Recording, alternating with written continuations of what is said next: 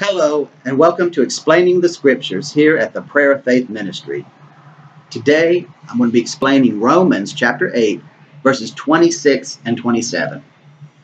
And we're going to start by reading the scripture. It says, Likewise, the Spirit also helps in our weaknesses.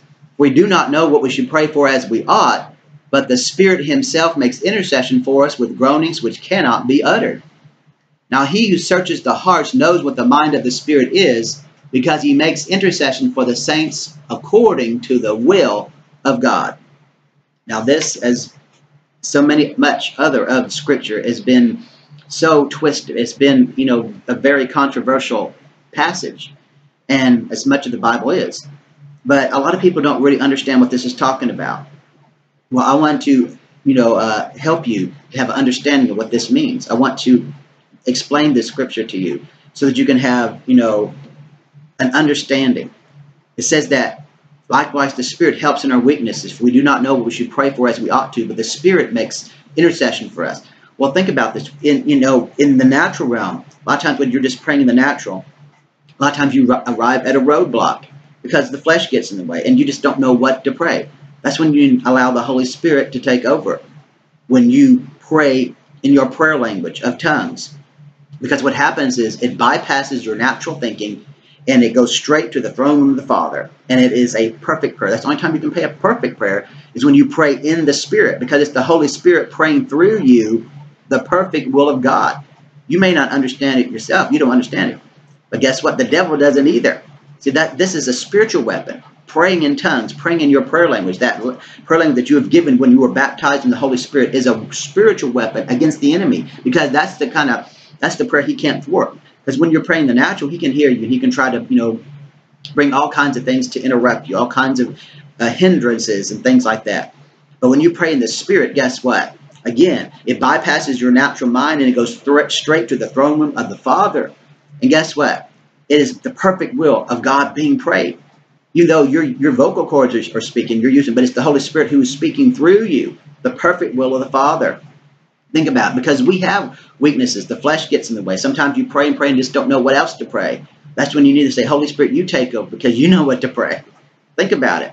He says, now he who searches the hearts knows what the mind of the Spirit is. He knows what, what, you know, that we need to pray. He knows what situations that we need to, you know, find victory in, that we need to find, you know, that place where we move past the roadblocks and get to the place of victory. It says, because he makes intercession for the saints according to the will of God. There's the key, according to the will of God. So a lot of times, you know, in our, you know, in our fleshly mindsets, we just pray things that are not according to the will of God. They're just according to what we think, you know, we need in our lives, what we think, you know, should be the outcome of things. Well, that's we have to put that aside. That's just nothing but the flesh.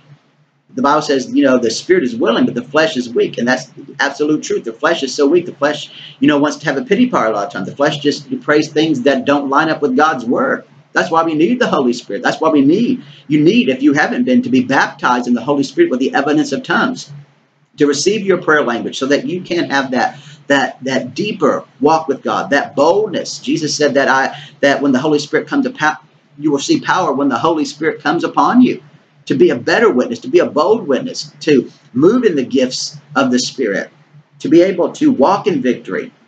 That's why it's important that we pray daily. You know, yes, in our understanding, you know, in our natural prayer time, but also pray in the Spirit, pray in tongues, that prayer language that you've been given, that you can pray in any time and anywhere, because you are speaking to yourself and to God. The Bible says that we're speaking mysteries. Yeah, you may not understand it. Doesn't matter. God does. And he moves mightily when you allow the Holy Spirit to move through you. Like again, like I said, you're going to arrive at roadblocks, but not in the spirit. In the flesh, you will.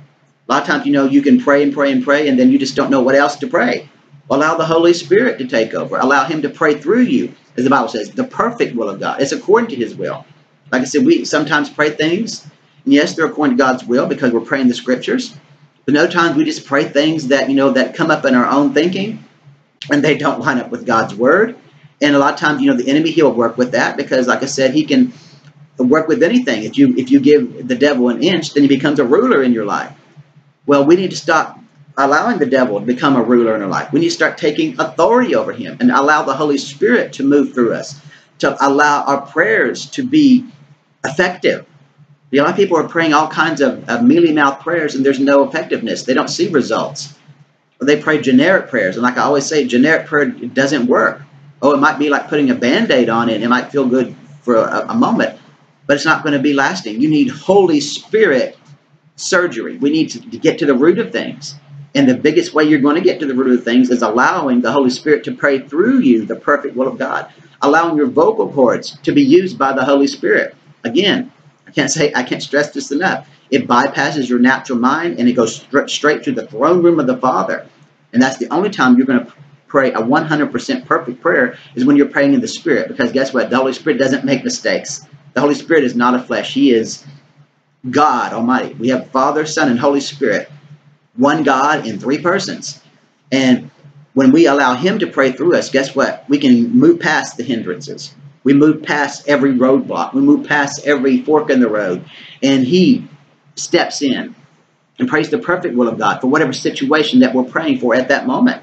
And like I said, and the devil, that's the, the thing that always excites me is he can't understand it. He can't understand when you're speaking in tongues. We don't even understand it, but God does. That's the important thing.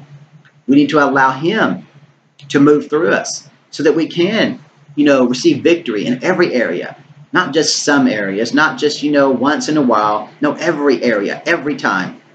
Because we're supposed to be king's kids. We're supposed to be those who are born again, those who are blood bought and spirit filled, those who are the warriors and the sons of light.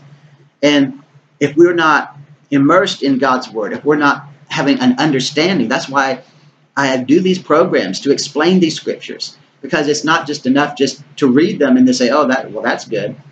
We need to know what they're saying. We need to know how to apply them to our lives. And it's important that we have that understanding because if we don't, then guess what? Satan comes in and he will steal the word that's been sown in your heart. He will bring his corruption and he will use people. That's why there's so many, you know, excuse me, denominations out there that want to say that tongues have ceased and that miracles have passed away, signs and wonders have passed away. Well, I don't know what Bible they're reading. They're not reading the Bible I'm reading. Because in Mark 16, it says that these signs will follow those who believe. Are you a believer? It says you will, you will cast out demons. You will speak with new tongues. There's your prayer language. You will be unharmed by anything deadly. You will be those who lay your hands on the sick and the sick will recover. You will evict demonic false doctrines. You will be victorious. And this is something that we have to have an understanding about. So when you come to, to scripture passages such as the one we're looking at today, Romans 8, uh, 26 and 27. Don't allow, you know, uh, the doctrines of men to get you in a place where you're confused or where you just give in to what they say because they seem like they, they're sincere. Well, they may be sincere, but they're sincerely wrong because what they're saying about, oh, you know, these things, it's not talking about, you know, praying in tongues and stuff like that. It's talking about something else. No, that's not what it's talking about. The Bible interprets itself. Jesus speaks for himself. His Holy Spirit speaks for himself. Again, he says, likewise, the Spirit also helps in our weaknesses. We do not know what we should pray for as we ought, and we don't all the time. But the Spirit himself makes intercession for us with groanings which cannot be uttered. That, that's talking about he intercedes on our behalf, but he's using our vocal cords. We're speaking, but it's the Holy Spirit speaking through us, the perfect will of God. And those groanings are going forth up to the Father. And that's how victory is going to be accomplished. That's how situations are going to turn around by allowing the Holy Spirit to use you. You're a vessel. You're a conduit of the Holy Spirit. Just like when we're laying hands on people to to to, to pray that they get they get well. Well, it's not us that are healing. It's the Holy Spirit using us. We're the conduit. We're the vessel. We have authority in Jesus' name. But it's the Holy Spirit Himself that that is accomplishing the uh, the healing and the deliverance. But we have to be willing vessels because we're the body of Christ. Think about it. Now he who searches the hearts, let's read it again, knows what the mind of the Spirit is. He knows what the perfect will is. Because he makes intercession for the saints according to the will of God. He intercedes for us. But our part is to allow him to use us. We have to open our mouths. We have to sit back and have our hands folded and think that everything's just going to fall on our laps because we said a sinner's prayer or even because we were baptized in the Holy Spirit, we have to open our mouths and allow the Holy Spirit to speak through us.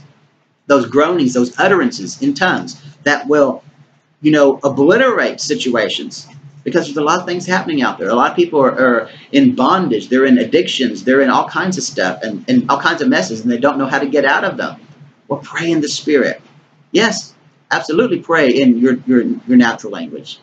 But don't just limit it to that. I'm not saying that you're not supposed to ever pray in your natural language. But when you get to that place where you, your, your flesh is weak and you just don't know what to pray, or, or you prayed and prayed and prayed and you just feel like you're, you're not getting anywhere, that's when you need to just sit back and say, you know what, Lord, you take over. Holy Spirit, take over.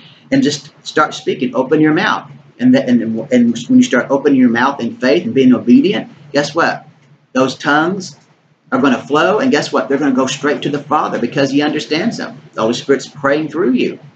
And that perfect will of God is being done. And that is an awesome thing. Like I said, it's a powerful weapon that we have against the enemy because he doesn't understand what we're praying. He can't thwart that prayer. Now, when you're praying in your natural, you say things. He can make the telephone ring. Who makes somebody come to the door and knock at the door? He can, you know, try to get you discouraged to say, "Oh, you're not praying right."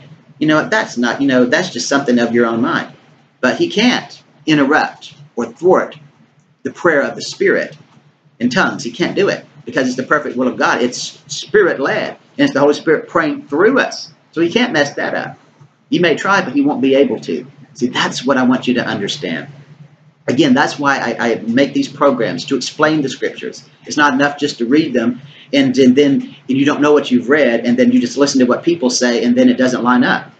No, we have to have the full understanding so that we can walk in the victory of it, so that we can know how, what the word says and we can put it into practice and keep the devil under our feet where he belongs.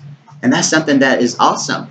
But if we don't know what the scripture says, if we're ignorant of them, then we can be led astray. The Bible says even the elect can be deceived.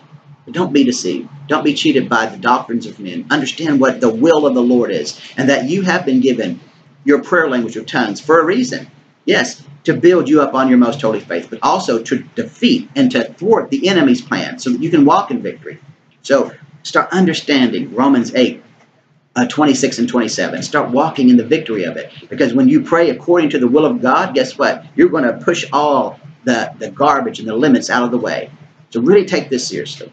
And as always, remember that the Word of God stands forever. Amen.